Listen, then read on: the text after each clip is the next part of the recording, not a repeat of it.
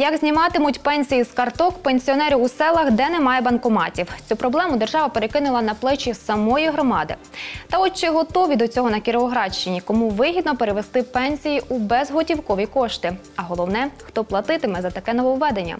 Про це і не тільки говоримо у сьогоднішньому випуску новин. Вечір добрий. Протестували студенти-медики філії Донецького медуніверситету у Кропивницькому. Її хочуть ліквідувати за невідповідність ліцензійним умовам Міносвіти. Натомість продовжити навчання пропонують у філії в Краматорську. Чи згодні студенти на такий переїзд та що робитимуть викладачі? Далі у сюжеті.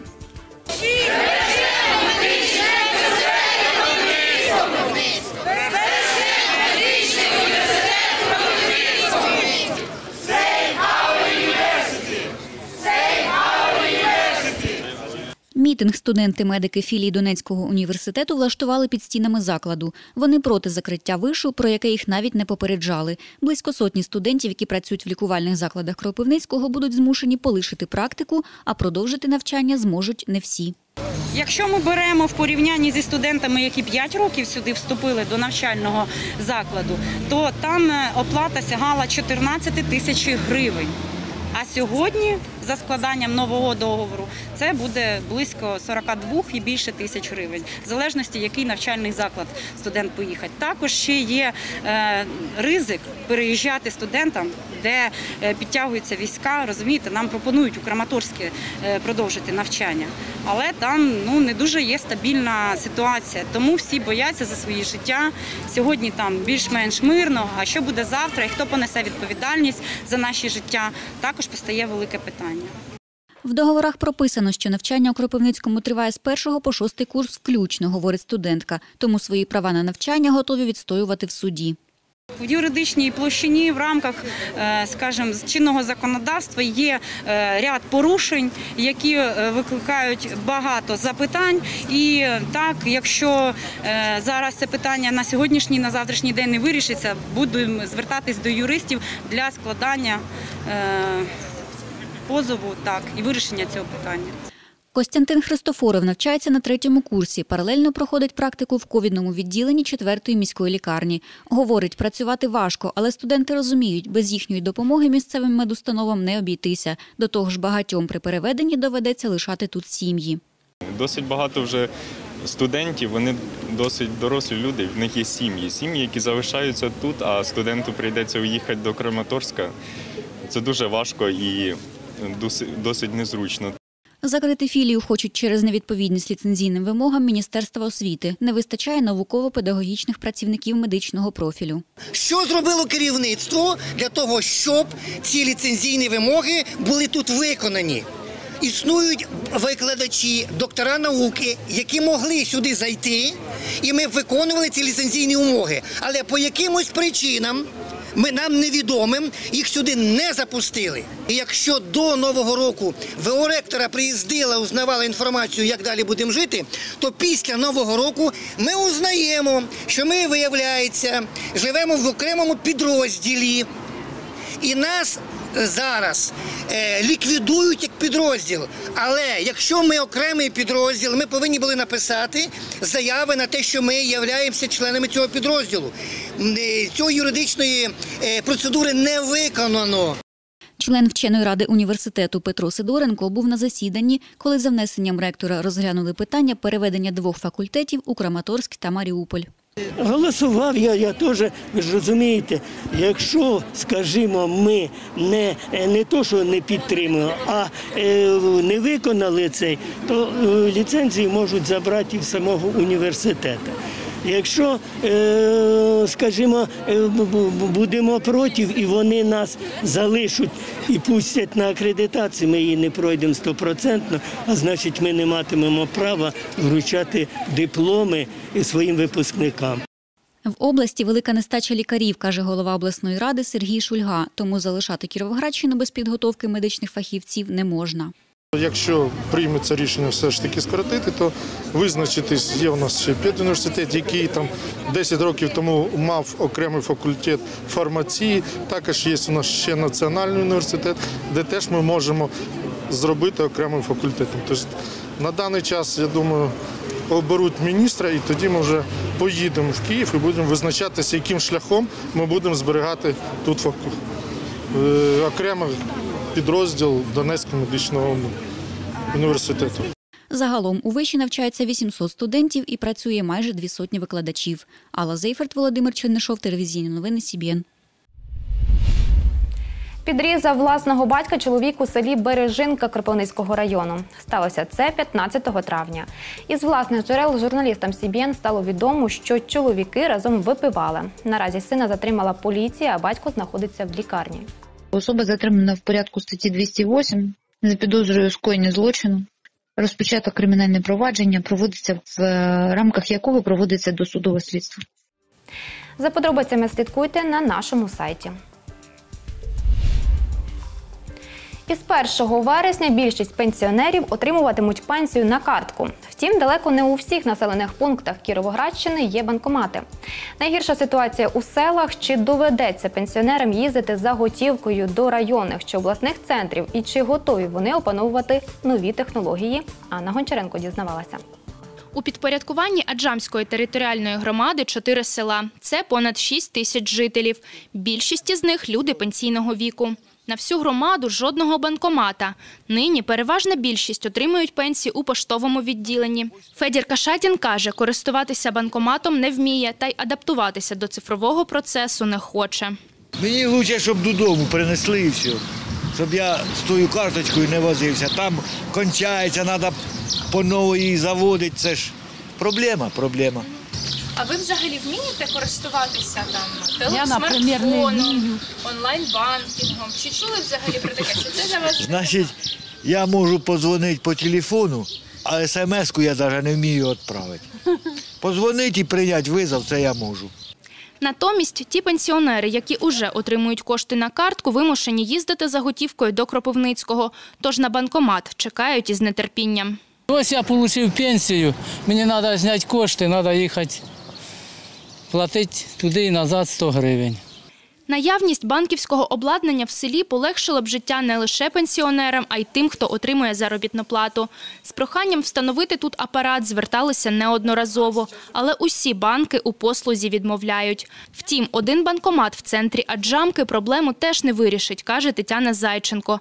Звідси до найближчого села громади 11 кілометрів. До нас звертаються і жителі, і депутати, щоб все ж таки відстоювати позицію е, отримання пенсій і надалі через Укрпошту, тому що людям це вигодно. Не кожна людина. е, Ну, нас на території так склалося, що більшість магазинів, хоча і є е, там касові апарати, але більшість жителів вони хочуть отримати живі кошти, і в нас є і ринок щосереди, і о, використовувати живі кошти. Будемо піднімати питання з депутатами, направляти додаткові звернення до Кабінету міністрів е, в тому порядку, що все ж таки залишити це право за Укрпоштою і надалі видавати пенсії нашим пенсіонерам. Встановлення банківського обладнання повинно бути економічно вигідним і перш за все приносити прибуток, роз'яснюють у Державному банку. Банк несе великі витрати на оплату електроенергії, на обслуговування цього обладнання, інкасацію. Крім того, це оренда приміщення, на якому будуть розміщені розміщено це обладнання.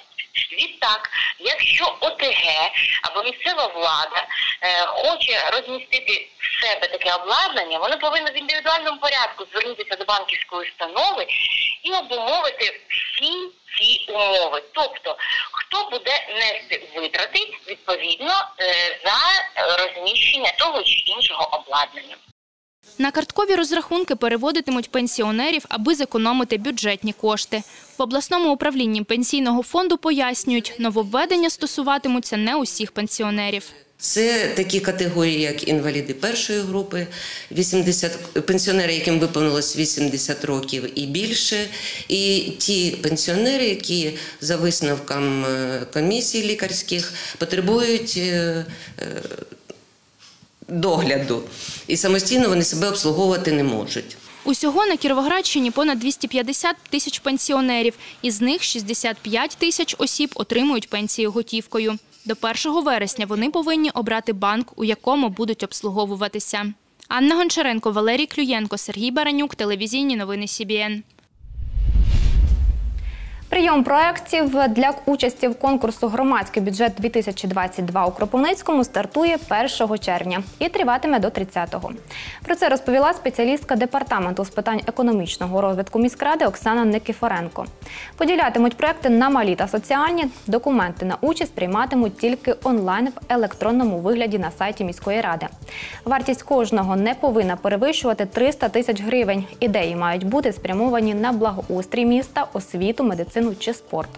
Громадський бюджет, перш за все, це можливість кожного мешканця нашого міста долучитися до розподілу коштів місцевого бюджету, запропонувати свою ідею, оформити її у вигляді проєкту і подати її для участі у конкурсі.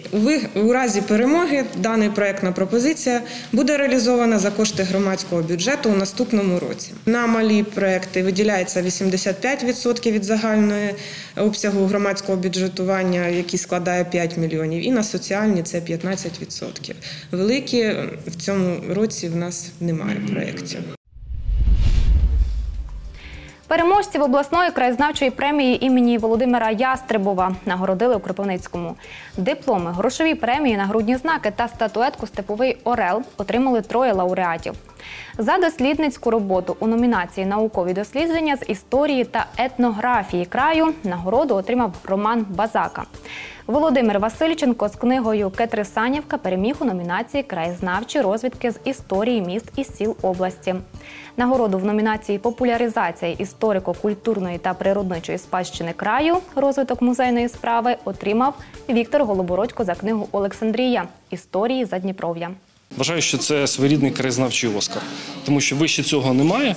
Е, Це дійсно визнання, тому що пан Ястребов і всі ті олександрійці, які теж є лауреатами цієї премії, це Федір Плутнір, Анатолій Кохан, Валерій Жванко. Це все плеяда дуже е, класних дослідників, які несли величезний внесок у розвиток історії не тільки краю дослідження, але і всієї Кіровоградщини. Це спроба комплексно підійти до питання того, що таке історія міста Олександрії, спробувати ну, відійти від тих канонів і стереотипів, якими заповнені радянські підручники, е, книжки, які видані в 90-х, е, навіть 80-х роках, і спроба подивитися на все це неупереджено.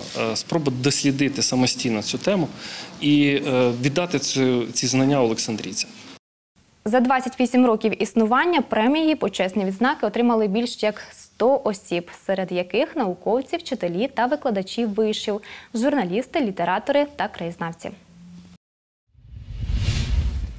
Перша жінка-диригент військового оркестру в Україні і до сьогодні єдина у Нацгвардії. Юлія Колєснік вже сьомий рік успішно керує музичним колективом у військовій частині в Олександрії. Із військовослужбовицею та її творчими товаришами по службі спілкувалася Євгенія Ніколаєва.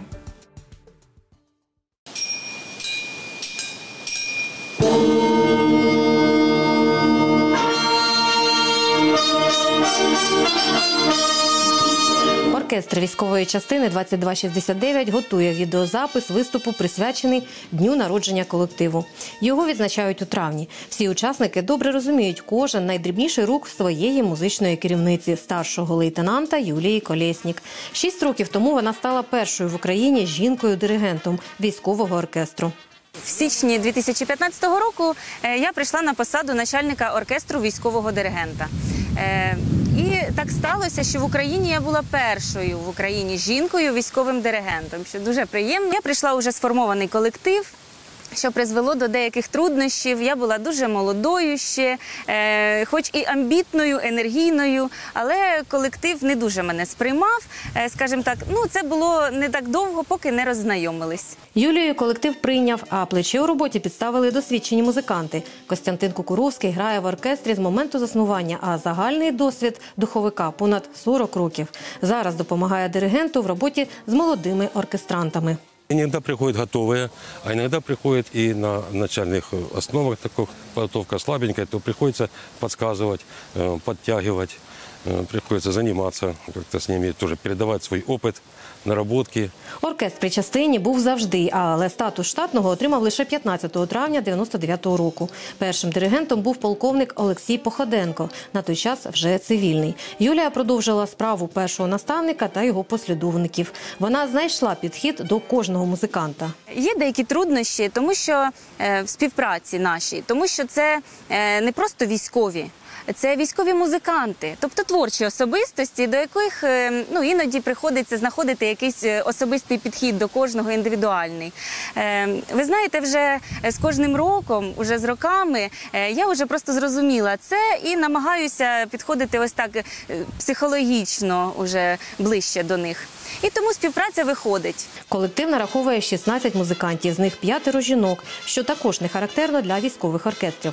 Зараз це дружня творча родина і гордість частини. Військовий оркестр має велике дуже значення. Це є візитівкою нашої військової частини. Всі міроприємства в частині в місті, які б не проходили, завжди залучається наш оркестр, який нас вдохновляє, надихає на хороший настрій і робити добре, хороше, щось позитивне.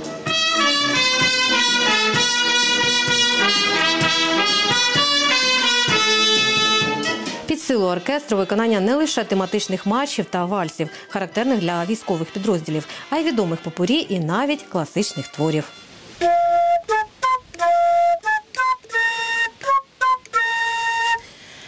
Зйомки військового оркестра вдихнули мене на приємні спогади, коли я грала у дитячому, а згодом у студентському духовому оркестрі. Євгенія Ніколаєва, Олександр Стрижак, телевізійні новини СІБІН. Українській жінці все під силу. А от чи зможе Марія Тарасенко спрогнозувати сонячний і теплий завтрашній день? Почуємо за кілька секунд. На все добре.